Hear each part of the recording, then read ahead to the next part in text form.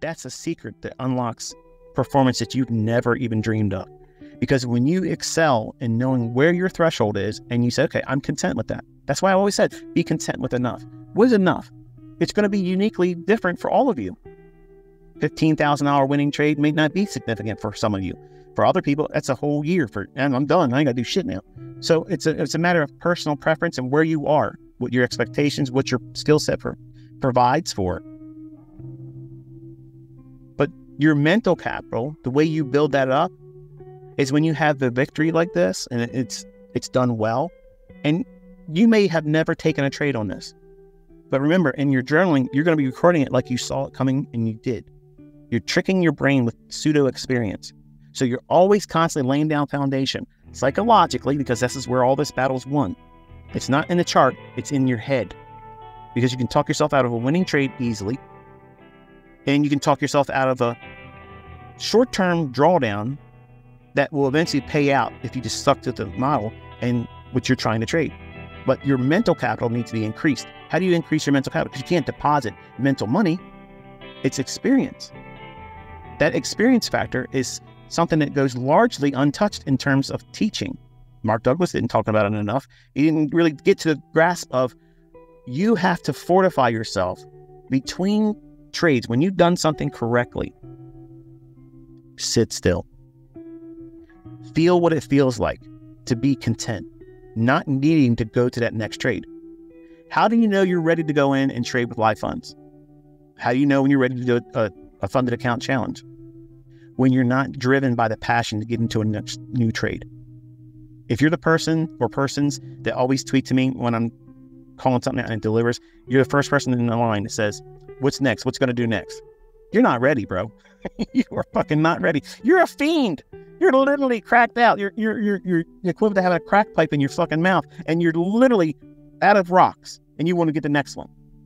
You're, you're fiending. You're not ready. You are absolutely not ready. The people that are like, yeah, I'm going to take this week off. But the market's to do this. Yeah, right. That's someone that's got the right mindset. If they're already consistent in terms of what they can see and forecast and price action, and they can take themselves away from the market, even when they know there's something coming, that's maturity. That is a, a skill set that if you can forge that before you press into real money, that factor of, well, discipline, it will serve you so well. But you all think it's just the stuff in the charts that's what you need. The new ICT gimmick, the new something set up or model, whatever. And it's not. I've given you shit.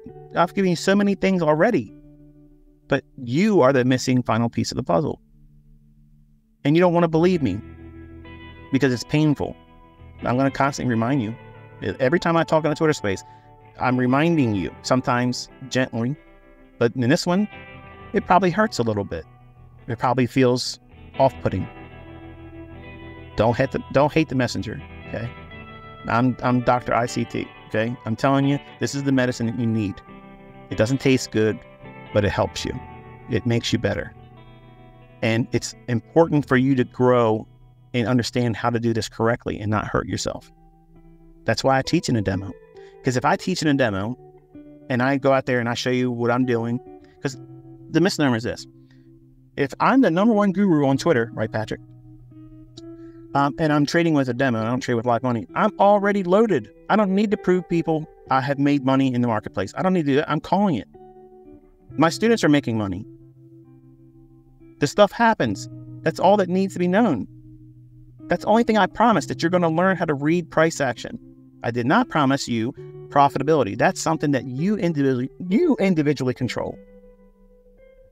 But if I ha- if I'm out here in public, in in the mode of a educator, and I have no emotional commitment that holds me back about using a demo, then you should have no problem practicing in one.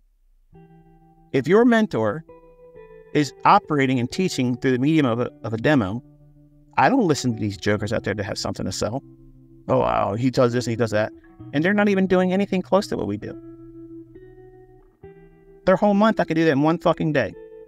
One day. From beginning to end, show you the whole fucking history. Done. I don't need to do that.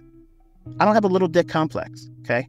I'm completely content with who I am, how I am, and my own length. I don't need to worry about anything else. So when you're looking at this, don't view what you're doing as a demo is not significant enough because it is significant because you're reading price. The same price action is unfolding in that demo is happening for people that are trading in real money. The real money people that did everything opposite to what you were doing are expecting in price action and lost their ass. Believe me, they know for fucking certain that that shit just happened to them. I'm teaching you so that way you have no emotional connection to this. You have no connection to it emotionally. So you can't be swayed in the periods where it will do its damage. You can't get all, you know, egotistical because you're not you're not making any money. You're not getting taxed. You you can't go out and spend those demo dollars, but you're getting that experience, and you're allowing yourself to learn what I'm teaching you. When you get it right, pause. Feel what it feels like to get it right. Give your journal time between entries where you executed and your next trade. I'm not convincing you or trying to talk you into taking trade after trade after trade after trade to fill your journal up. That's not what this is all about. It's quality over quantity. And just because I'm teaching you the skill set through the medium of day trading, it's not everyday trading. There's recklessness out there, and people gravitate to wild cowboy type shit. And I've done that stuff. And I, I, fell victim to it when I was coming up. I saw people doing some crazy stuff on America Online. I was like, well, I want to do that too. And I got hurt. And I tried to force myself to learn what it is they're doing, and I couldn't do it. So I just stopped.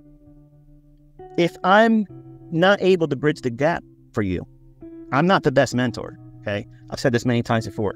I'm not the best mentor. I'm sure in years to come, someone's going to properly learn what I'm teaching and they're going to do a better job of coaching other people. Okay. Until I'm done, that can't happen. But November, we're done. I may not be able to fulfill that need. That one of you, or individually, some of you that are listening, I might not be the person that can deliver it. It might be one of my children later in, in life if they decide to go that route. I don't know. I'm doing the best I can. I have limitations as a person. I have things I wrestle with, and I'm a real person. So I'm practical. I know that I'm not going to reach all of you. And it hurts me because I try very hard, very, very hard to try to do whatever I can to allow you to understand what it is that you need to know and to eliminate the things you're worrying about. And it frustrates me when I see people not listening to the sound advice that I wish I would have I would have paid whatever I had to learn how I'm teaching you. Like I'm trying to be because I know what it was like. I lived it. I mean, I, I know 20 year old Michael. I, I mean, I'm that guy. And if I would have had this, it would have done so much for me. It would have encouraged me when I needed it.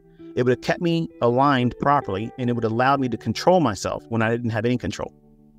When I would win, I'd want to go back in right away. When I lost, I'd want to go right back in. Like I, I was not fearful. Once I learned certain methods of getting in, you know, I was looking for it all the time, not understanding that the market's going to have an ebb and flow. There's a time delivery to all this shit. And uh, unless you understand that, just the liquidity alone is not enough. It's essential, but it's not enough.